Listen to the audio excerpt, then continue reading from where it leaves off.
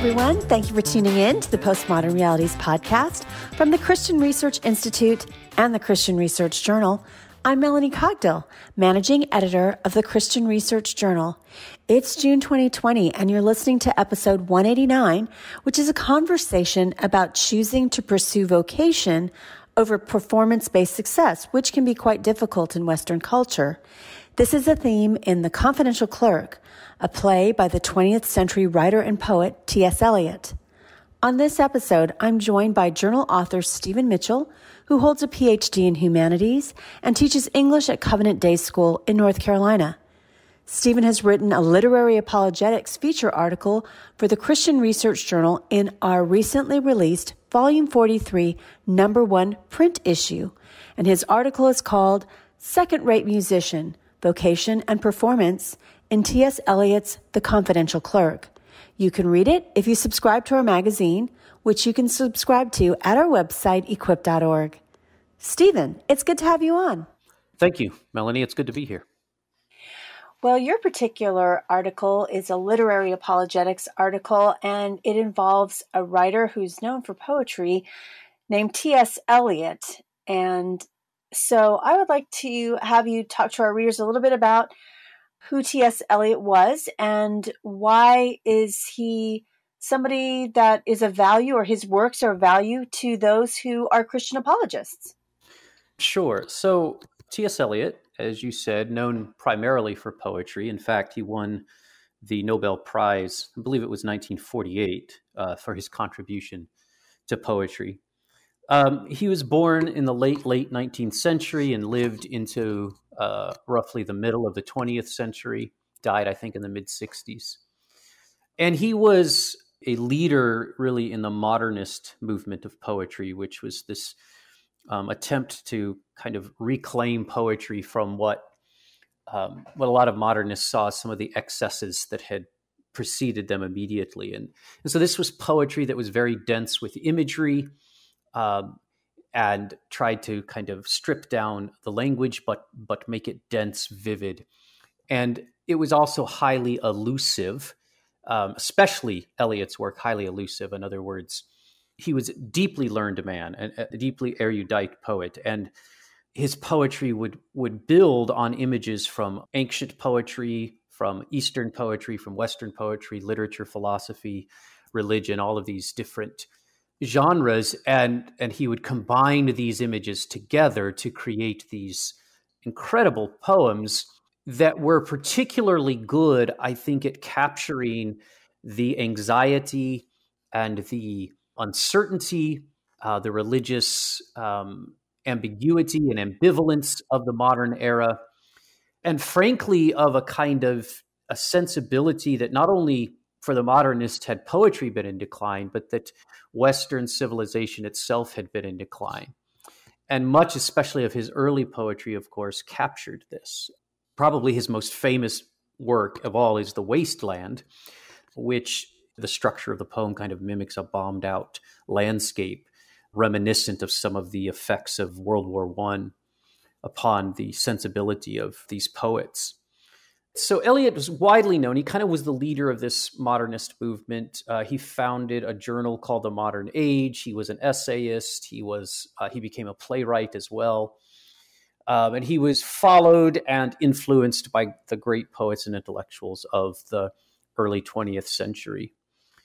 I think what makes him particularly valuable for apologists is that Eliot's own intellectual journey was an intellectual journey from a kind of hybrid Eastern Platonistic universalism. He was raised in the Universalist Church, the Unitarian Universalist Church, to a very traditional Anglican Christianity. And this took place over a, a series of, of decades, really.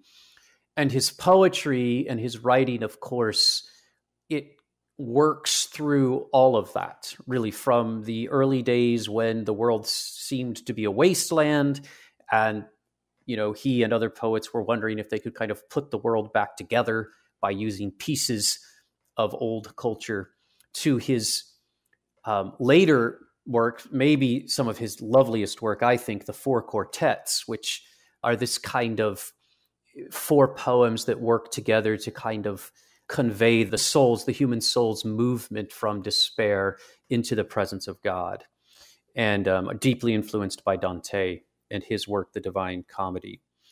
Eliot engaged the modern world intellectually, philosophically, religiously, poetically, sociologically. I mean, all of it. He was just deeply engaged that way. And his essays, of course, are rich with this criticism of a kind of agnostic world and a recognition, for Eliot at least, that uh, the Christian faith offers, well, it, it offers a truth that the world needs and that Eliot felt he needed. And it does so, th- you know, through a clear awareness of how the modern world was different from the ancient world. In other words, Eliot didn't just try to sort of jump back into and become a medievalist or something like that, but rather to figure out a way that one could live in the modern world as a modern person and also be a Christian. And his work just takes up those intellectual struggles in an articulate and profound way. And that I think is why uh, he would be of interest specifically to people interested in apologetics. Well, specifically, your feature article in the volume 43, number one print issue of our journal deals with his play, The Confidential Clerk, and your article in particular critiques meritocracy Mm-hmm. So I'd like you to define meritocracy for our listeners. What is it, and why are you critical of it? Sure. So meritocracy probably has as many definitions as there are, you know, people to talk about it. But one definition that I include in the article, and really that I work with and and critique, um, is provided by David Brooks. I really think it is probably the most prescient definition or description of the meritocracy. And it, it refers to this achievement culture that marks certainly the United States, or at least the middle class and the upper middle classes of the United States. And I think probably the, the same around the world right now amongst the affluent. And it's this idea that we really, at its root, that through our achievements, we create our identities and it's rooted, of course, the root is merit, and there's an implicit assumption in here that if you are part of the meritocracy, of course, you undoubtedly deserve your good fortune or, or what good things happen to you. In fact, it probably wouldn't recognize anything like good fortune because, in fact, you have achieved, you have accomplished, you have created, you have acted, and because of your effort, you have become this accomplished polished, successful, affluent, and confident person. That is kind of how the meritocracy works. Why I'm critical of it, there's a number of reasons. Primarily in the article, I'm critical of it because I think it shifts identity to the wrong foundation. It, uh, it shifts it away from where a Christian understanding of selfhood and identity would, would place it it's not even so much what people do, right? Because the fact is that whether we understand ourselves to be meritocrats or whether we, you know, have this idea of vocation that I talk about, we have to do things in the world. We have to perform. Uh, we have to uh, uh, achieve things. We have responsibilities um, to use our gifts, um, our abilities, our opportunities in the world.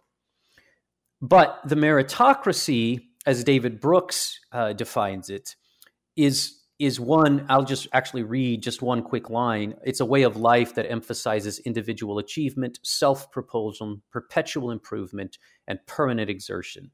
The way we realize our potential is through our activities. By ceaselessly striving to improve at the things we enjoy, we come to define, enlarge, and attain our best selves.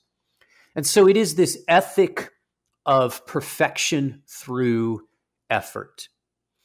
And it precludes a number of things, one of which is rest.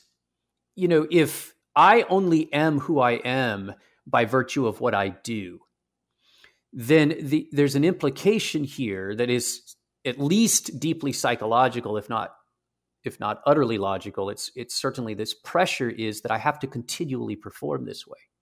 And of course, we have a faith, right, which is rooted in the idea of rest, specifically of Sabbath rest, because of the um, the work of God to create, and then the incarnate work of God to redeem.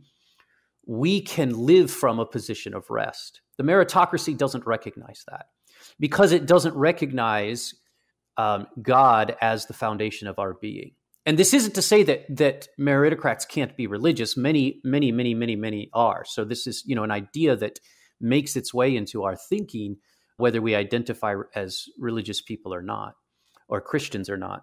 But it eliminates rest and it has this other implication that i think will develop later on. But that is that it's up to me to make myself of value and it's up to me to make myself good. And I don't mean by that so much morally good as I mean ontologically good. Rather than, if we go back to the Genesis account, for example, where the narrative is that God creates the world and declares it to be good, and then, of course, creates humanity and declares it to be very good. And that goodness, that affirmation of that that what is ought to be and is worth has worth and value, is worthy of our praise, even. That idea doesn't really have room in the meritocracy or in meritocratic thought because we don't become until we act. Whereas I think if you take the Genesis account, for example, you act because you have become. Now, of course, there is some overlap here because we, you know, if for example we we just go through say the book of isaiah in the old testament and there's this continual reference to israel as the planting of god this tree or this crop that bears fruit. And so there is process and there is growth and there is movement in a christian view of vocation as there is in a meritocratic view of achievement. But the difference is that in the Christian view of vocation, I think there is this uh, and and I, the language is a metaphor, but it comes right out of Scripture. There is a kind of fruitfulness, a fruiting, a blossoming of what we are kind of in embryonic form throughout our lives. And in the meritocracy, there is this kind of of forceful shaping of ourselves. David Brooks calls it the bricks of our identity. And I, and while I don't think he's intending to this, I always, whenever I read that, I think of the Tower of Babel, honestly, and that that image of a society building itself, right? Let us make a name for ourselves, I think the passage says. And so I think that the meritocracy in our country is a little more in line with kind of the virtues of the biblical story of Babel than say the virtues of the city of Jerusalem. So we, you know, you could even talk of this in terms of Augustine's city of God, the city of Jerusalem and the city of Babel. So that's a quick rendering of what I'm talking about in the meritocracy. And I do want to point out that David Brooks, and this to be fair to him, this is a little bit of an older piece, and he has recently published a book, The Second Mountain, where he's far more critical of the meritocracy. His thinking on this has developed quite a lot. But I use the critique in the article, or I use the passage in the article, because I still think it is the best description that I've seen of how the meritocracy works and how it functions and how we are encouraged by our culture to think as meritocrats and the need to challenge that regularly with a sort of renewing of our of a Christian understanding of of the self and of identity. You're listening to the Postmodern Realities podcast from the Christian Research Institute and the Christian Research Journal. Today's guest is Dr. Stephen Mitchell. He has written a literary apologetics feature article for the current print edition of the Christian Research Journal, which is volume 43, number one, and his article is called Second Rate Musician, Vocation and Performance in T.S. Eliot's The Confidential Clerk. Read his article when you subscribe to our magazine, which you can do so at our website, equip.org. Other ways in which you can interact with us and help us continue to produce this podcast and other free content on our website is to partner with us in one of three ways. First of all, subscribe so you can read this article. Second of all, if a subscription is not in your budget this month, please think of tipping us, which you can do on our website. You go to equip.org, go to magazine at the drop down menu. You'll see Postmodern Realities podcast. If you click on that, you can hit the landing page for this episode or any episode, and you can find the link to tip us something like $3, $5, something like that. Maybe you've been saving money on eating out or going to movies or other things during this time in 2020. So we would really appreciate you giving us a little tip for the content that we produce for you. And really, the best way that you can help us out is to please rate and review our podcast, which you can do on Apple Podcasts. Search for Postmodern Realities. And it's one of those things you think, oh, I'm going to do it, but you never get around to it. So take some time right now and head over there give us a starred review, or even better yet, if you have a minute, just jot down a reason why you enjoy listening to this podcast in a quick sentence or two, and we'd be very grateful. And thank you for supporting the outreach of the Christian Research Journal. You're talking to us about meritocracy, and in your article, you link meritocracy to the vice of acedia. So, what is acedia, and why do meritocratic values leave us susceptible to it. Yeah. So acedia is this it's it's an unfamiliar word to us really in modern times and that's unfortunate because I think it's a particularly apt word to describe a spiritual vice I would say that the that that contemporary people um, that we're particularly susceptible to. So acedia really developed uh, a robust um, conversation or a robust lexicon around the idea of acedia developed in the in the Middle Ages, and the High Middle Ages, and it it described what what Christian thinkers and theologians came to see as a vice of a kind of despair.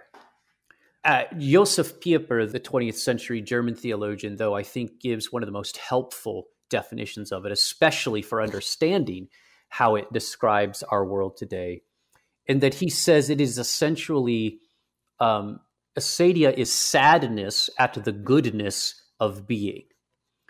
And as odd as that definition sounds, what he's getting at is that if being, if existence, our own and, other, and all other things are already good, then they impinge upon us, they make a claim upon us.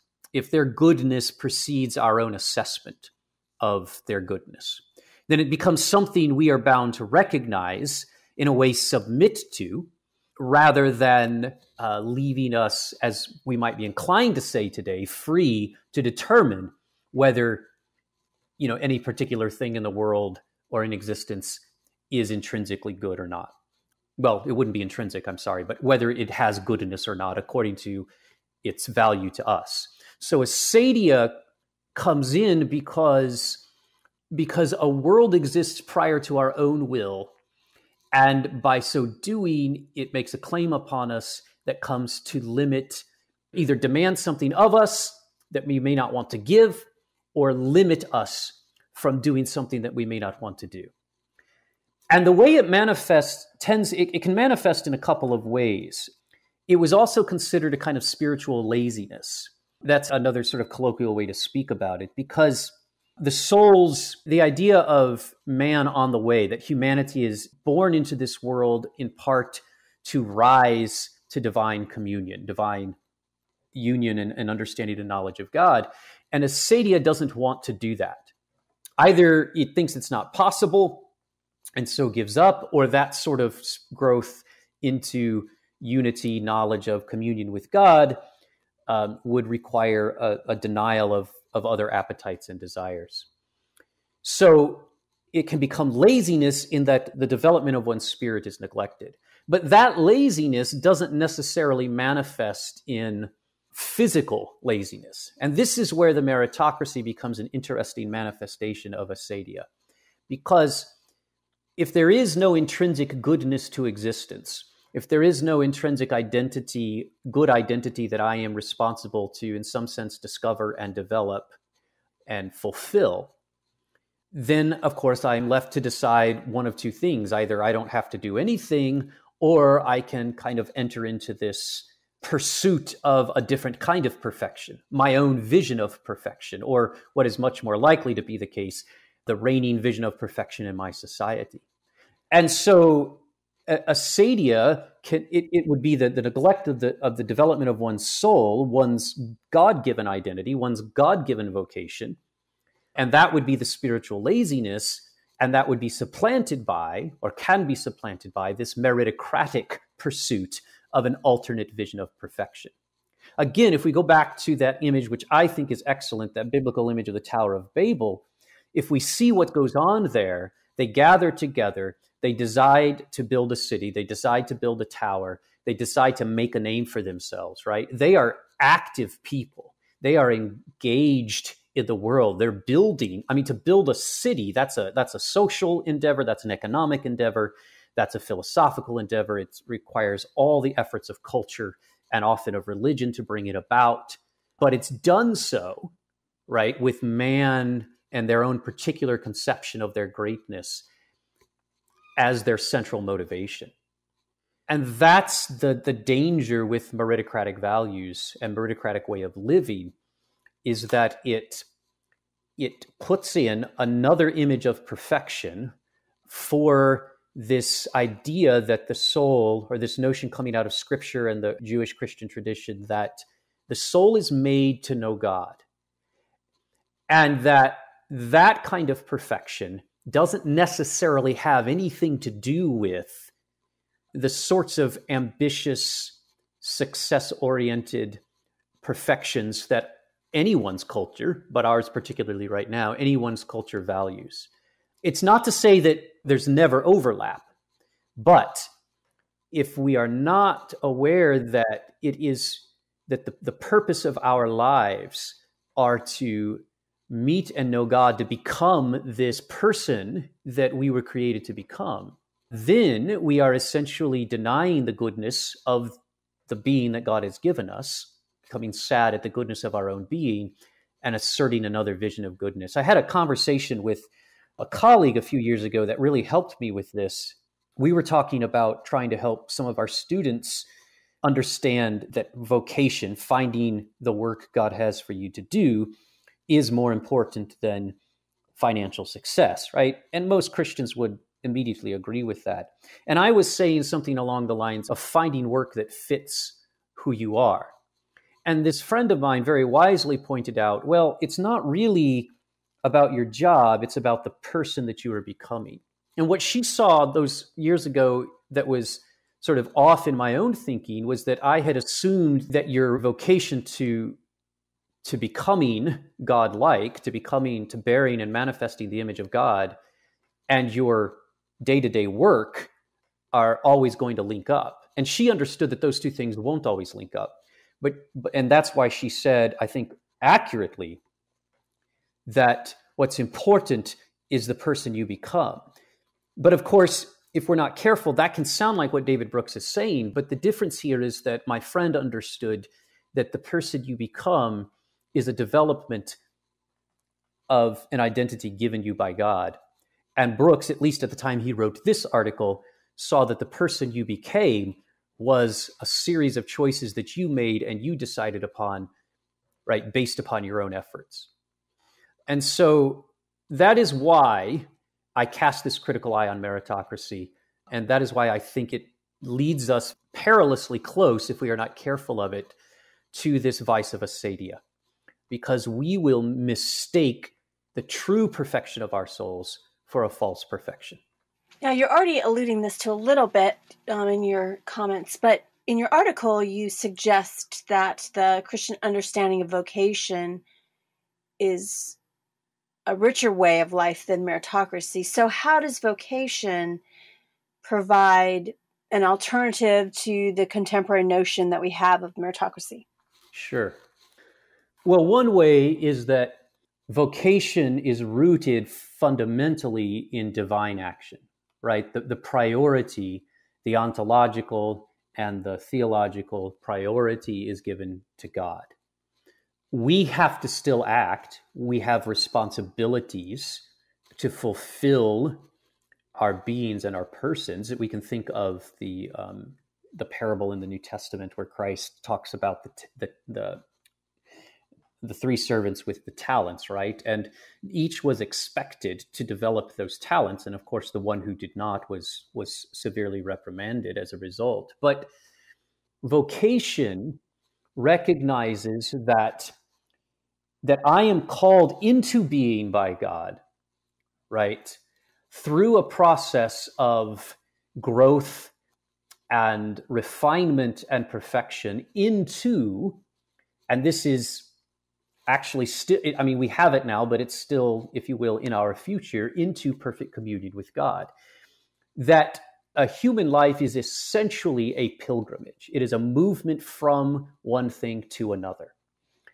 One of the things that meritocracy, of course, also tends to foster is competitiveness. Because our identities are rooted only in our own actions, if somebody's actions outstrip mine, if somebody outperforms me, if they if they uh, do more things or seem to achieve, you know, more success, however that is defined in the moment, then they become greater than me, better than me. And I have to up my game, if you will, in order to not be surpassed this can lead to some incredible forms of achievement but but it's it's deeply stressful. And it implies again that you are not fundamentally in your deepest being of any real value that your value comes from your actions. Vocation by contrast says you act because you are already of value because you are of value because you have been created by, given being, given existence by a God who made you in his image and who made you to grow into knowledge of him, grow into relationship with him. And so, vocation, one thing it lets me do is, in a way, forget about what other people are doing. What I mean by that is, I don't have to look at my, you know, what I'm doing with my life, how I'm living it, and ask whether it's as good as the next person's, I look at my life and I ask, am I living faithful to what, you know, the Spirit of God in His work in my life is calling me to, given my circumstances and my gifts and, you know, all of the other things that we feel shape us and that limit us, right? My past, my gifts, my geography, you know, the political entity, the nation that I'm a part of, right? All of these things will, of course, shape what we can do. But the Christian notion of vocation allows us to accept those as providentially part of the way he guides us. And so we can rest with the Christian notion of vocation. Fundamentally, it is divine, the perpetual power and will of God that undergirds our identity, not our own perpetual will and perpetual power. And if this is correct, of course, then we're going to tap into the truest expression of ourselves. We're going to know who we are. We're going to know what we're supposed to do and not do here. I don't mean that this is easy, but we're going to know these things and we're going to be able to live a life that is at once excellent and restful.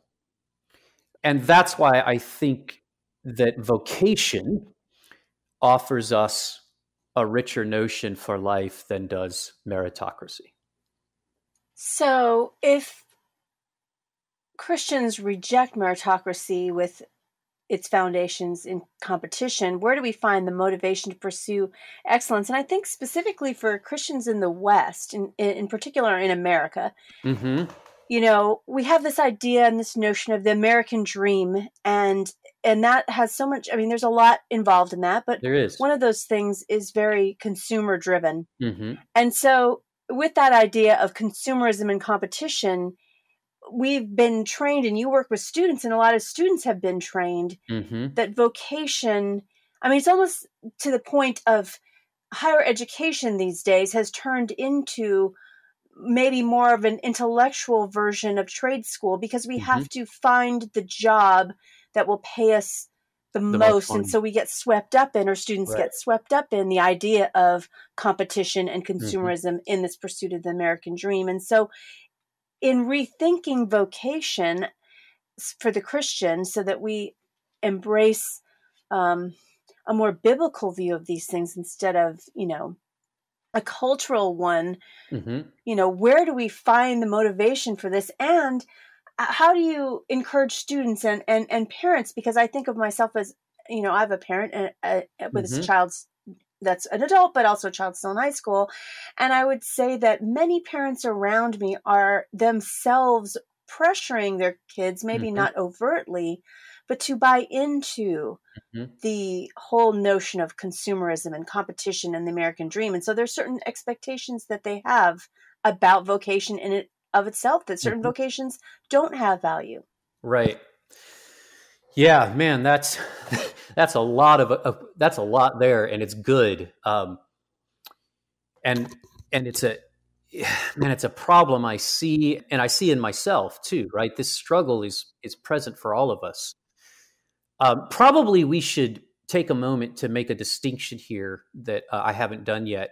So, this word vocation is understood in our times, but it's understood differently than it's typically meant in religious terms, which is how we're using it. So, in religious terms, as we're using it, vocation refers to the calling of one's being by God. Whereas in our modern times, and this is an interesting maybe it's a coincidence. I don't really think so. But in our modern times, right, vocation is limited to a description of your job. And so we're when we talk about vocation versus meritocracy, of course, we're talking about the calling of one's person into being and through the process of of becoming, right, into union with God.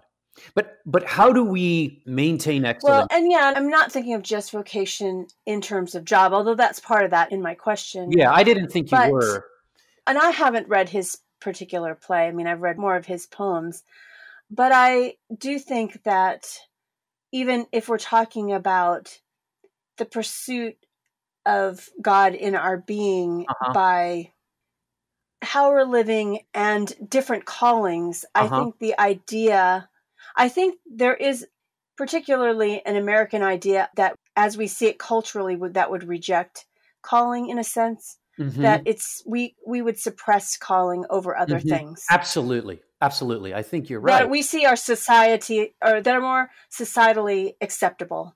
Exactly. that makes sense. Like, sure, you can pursue knowing God, but in these particular parameters, because that's more holy and that will be better and more acceptable mm-hmm. than your pursuit in other ways, if that makes sense.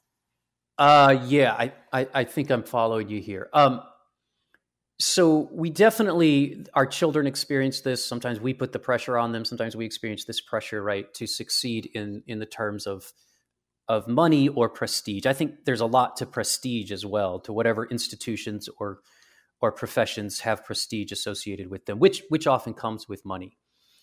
The ability to step aside from that, though, just one thing it requires continual spiritual formation. I mean, we have to reform our thinking, right, on scripture and on the theological traditions that Christianity offers us. There's a constant, if you will, renewing of our mind that has to go on.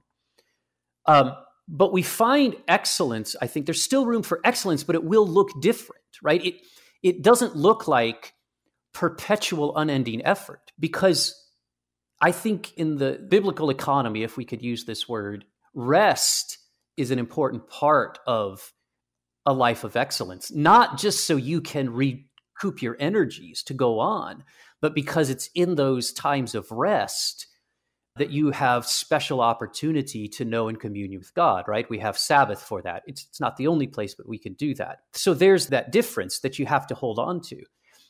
But the Christian notion of vocation is a notion of becoming, right? It is an idea that involves movement from and to. And so that notion of becoming does require something of us, right? We can think of Paul's claim toward the end of his life in the epistles, right? He says, I have fought the good fight, I have finished my course, I have kept the faith, and henceforth there's laid up for me a crown of righteousness. So Paul uses actually competitive language from sport to describe his own Christian faithfulness. But Paul wasn't seeking social prestige in any of that. He wasn't seeking financial success in any of that. And very often that meant the opposite, right? He spent time in prison, incredible amount of time in prison, right? He was often cast out of towns. Not that that should be our goal, but sometimes he was forcibly removed from different cities that he went to. And of course, he was executed for his faith. And so the becoming of Paul's soul, the transformation of Paul into the image of Christ, required a kind of spiritual excellence, a kind of attention to the voice of God and the calling of God upon his life. But it freed him from worrying about whether he was popular or whether he was financially successful or whether he was socially renowned or socially respected, so on and so forth. And so you know, there's this verse in Revelation, the, the, second chapter of Revelation, that I think speaks to this. That's really interesting. In chapter 2, verse 17, and it says essentially, it's part of the verse To him who overcomes, will I give a stone, uh, a white stone with a new name in it that no man knows save he that receives it. And I mean, I know that Revelation is one of the more difficult texts of the scriptures to understand, but that verse has always seemed to speak to me of this kind of point of arrival when one finally faces whatever it is we face at the end, when we account for our lives before uh, the God who who made us, that there's a, a naming ceremony, if you will, that goes on there that tells us who and what we have become. And it requires, even in that language, an overcoming. So it obviously does require something of us. In that sense, there's an effort involved. But it's an effort that recognizes first that God was the first to act and God is the one whose action sustains us. And second, of course, that grace is the thing which ultimately draws us to the perfection of our souls and our readiness then to be with God. So we are going to have a very different form of excellence. Now we will live in this world, and so it may be that as we pursue you know the perfection of our being toward god the movement of it toward god that we also achieve some measure of social success. We, we shouldn't under, expect that the things that will lead us to perfection are inherently contrary to the things that human beings need to do right? God made us. A human life is an excellent thing in and of itself because it's a divine gift and so human forms of excellence aren't necessarily at odds, if you would, with divine forms of excellence. But again, the place from which we act is going to make the difference. One is going to keep before us our communion with God, the other is going to keep before us the accolades of our society. And that is what makes the difference. So there is still a God we answer to, provides the motivation for excellence, as does the fact that he's given us a really wonderful gift that is our person, and that the development of that person is in part its own reward. But that is not a God who is a kind of relentless and demanding perfectionist. I think of a play, a different play by Robert Bolt called A Man for All Seasons. And a character in that play says to the main character, Thomas More, that in his mind, God demands effort unstinting and relentless. And Thomas More, the great British Catholic jurist, replies, Are you sure that's God? That sounds like Moloch to me. And of course, Moloch is the deity from the Old Testament who is apparently part of worship of Moloch was, was human sacrifice. You know, the meritocracy, whether it recognizes a God or not, requires effort unstinting and unyielding. That's its only understanding of excellence. Christian vocation recognizes that we are already created and made with goodness inherent in our being. And that call in us, that call to us, is what leads us through excellence and what defines excellence for us. Vocation limits us. If I'm called to do a particular thing, whether that is well recognized in my society or not, I am pursuing excellence if I pursue it. And of course, I am aided by the grace of God in the pursuit of that. I think I'll just end the answer to that question there. I could probably run on endlessly about it. Well, in your article, you specifically choose to write about these issues and use T.S. Eliot's play, The Confidential Clerk. So, what's the basic plot of the play? And how does his play address the tension between meritocracy and vocation? Yeah. So, this play, not his most well known play um, for sure, but I think really a lovely play. Uh, it's a comedy, really, kind of in the tradition of the drawing room comedies. So there's a character by the name of Colby Simpkins who thinks he is the uh, the illegitimate son of a member of the British aristocracy, Sir Claude Mulhammar. And Sir Claude Mulhammar thinks this as well. They're both operating on the assumption that they are father and son. And so Colby has come of age and he has been offered a job to be Sir Claude Mulhammar's clerk, his confidential clerk. It's a kind of legal clerk. With the plan, eventually, for Sir Claude to reveal to his wife and the rest of the family and their friends and acquaintances that Colby is his son.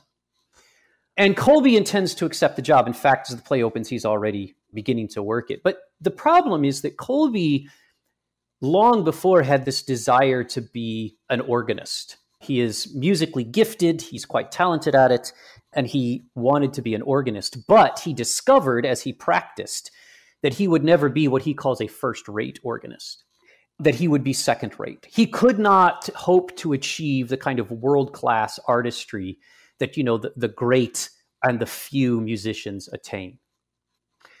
As a result of that, he decides to give that up as you know, he might dabble in music on the side, but he more or less gives it up. Figures out he can succeed quite a lot in business, beginning as a legal clerk for his father and so he gives up this gift of music that he has and he takes up business. And there's where the tension is, because in fact, as the play develops, we see that Colby has what we would call a vocation to music. It's in that work that he finds his most fulfillment. It's in that work that he connects to people and he connects people to the music, and there are implications in the play somehow to God. Well, the play, various comic things happen, and it comes out eventually that Colby is not Sir Claude Mulhammar's son. And Colby finds out that his own father, his real father, was, of all things, a second rate musician, as he puts it, or a, a church organist, but not a famous one. And Colby has to make a decision. I can continue in business where I know I can succeed financially or I can follow, as he puts it, follow my father, and I can follow this gift I have. And he actually chooses the latter. He chooses then to become a church organist in a rural parish where he's going to work amongst common people, not amongst the sophisticated, not amongst the affluent. He won't be paid much. In fact, he'll have to find alternate work to fully support himself but he'll be using that musical gift which he has to minister to the souls of others and to develop in his own person. And so, in brief, that's the choice, right? And it's very stark. And in that play, of course, he makes the right one. It's interesting that his, not really his father, but when he thought his father, Sir Claude Mulhammar, had made the opposite decision. He had wanted to be a potter, a ceramicist, but he didn't think himself good enough. And so he chose business over this other art. And I don't think Eliot intends to necessarily pose art against business as a more essential human endeavor. But his point in all of this is to show that there are other scales by which to measure excellence than sort of being the best, you know, amongst others of a thing, you know, at, at any one action. One doesn't have to be the best musician to have a vocation to music. One doesn't have to be the best artist to have a vocation to art. One doesn't have to be the best writer to have a vocation to writing. And of course, at a deeper level, the play shows that Colby's real vocation is to, again, prepare his soul for eventual union with God. And so ultimately, it's not about whether you're the best at any one thing or not, because your job, if you will, your vocation is to become Colby's vocation is to become the person that he was, to use a very common phrase, he was created to be. And, and this puts him outside of all competitive rankings and hierarchies altogether, right? Colby can't be, nobody can be a better Colby than Colby can be. Only Colby Simpkins could be an excellent Colby Simpkins. And that's fundamentally what the play is about. That we, each of us, are gifted our being. It is good intrinsically because it is a gift from a good God. And it bears with it a responsibility to develop that gift in excellence with the limitations that come with that gift. Colby cannot become a world class musician but he doesn't have to, right? He can, if we can put it this way, he can become a world class Colby. And while that may tend to lean and sound a little bit sentimental, it's profoundly refreshing and freeing to learn that I do not have to achieve what other people achieve in order for my life to have meant something, in order for my person to have you know profound value in order for my work to matter. What i have to do is be faithful to the being that god has created me to become. And so that's how the confidential clerk addresses the tension between meritocracy and vocation and offers a picture i think a rich picture of how much more fulfilling one's life can be when vocation is preferred to meritocracy. Well, finally, I would like to end this podcast by asking Stephen some fun rapid fire questions. Sure. So, during the quarantine that's mm-hmm. ending in some places, at your house, did you guys go to comfort food? Were you healthy or did you do takeout to support local restaurants in your area? We did pretty good with uh, being healthy, but I have to say there were a lot of cookies baked, a lot of brownies, a lot of apple crisp, that sort of thing. Um, so healthy food, but but our own fair share of comfort food for sure. What's something that's on your bucket list? Oh, I would love to hike the Camino del Santiago, uh, the Way of Saint James, that's in runs through Spain and France. It's 500 miles. Take me about five weeks. But some summer, when my children are a little bit older, uh, maybe with one or both of them, I would really like to hike that trail. So, we know that you're a teacher who teaches English, and we've been talking about T.S. Eliot's play, The Confidential Clerk. So, is there a work of classic literature that you would suggest for our listeners for them to put on their summer reading lists that Christians you think should read? Ah, yeah. Um, oh, I would say I, just the first one that always comes to mind when a question like this is asked is Crime and Punishment. Just a stellar work of literature, and that's the one I would recommend. One of my favorites. I would say that's a very good book, but it's probably not beach reading, or if you are going to read at the beach, just it's not know in advance. It's intense. It's an intense book. So finally, we have toilet paper in stores these days, but yeah. there was a shortage for some time. So at your house, do you guys hang it over or under? Uh, it goes over in my house for sure. Comes off the top. Well, thank you, Stephen, for being a guest on the Postmodern Realities podcast. Thank you, Melanie. It was a pleasure.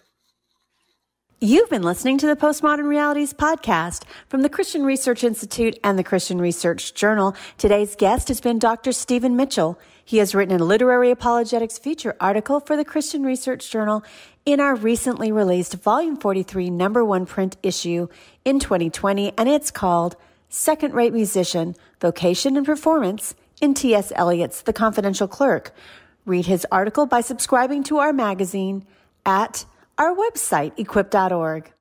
We'd like to hear from you, so connect with us on social media, like the Bible Answer Man Facebook page, and follow CRI Christian Research Journal, Hank Hanegraaff, and the Bible Answer Man on Twitter. And please subscribe to the Bible Answer Man channel on YouTube. If you like this episode, please subscribe to the Postmodern Realities podcast on iTunes and please rate and review our podcast. When you rate and review our podcast, it helps others see our content. And please share this episode on your social media accounts. Be sure you tune in daily to the Bible Answer Man broadcast hosted by CRI President Hank Hanegraaff, who answers your questions live on air. To ask Hank a question, call 888 Ask Hank Monday through Friday at 6 p.m. Eastern Time.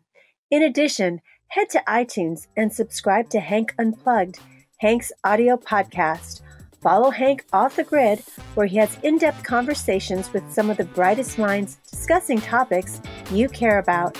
So until our next Christian Research Journal author conversation, thanks for listening to the Postmodern Realities Podcast.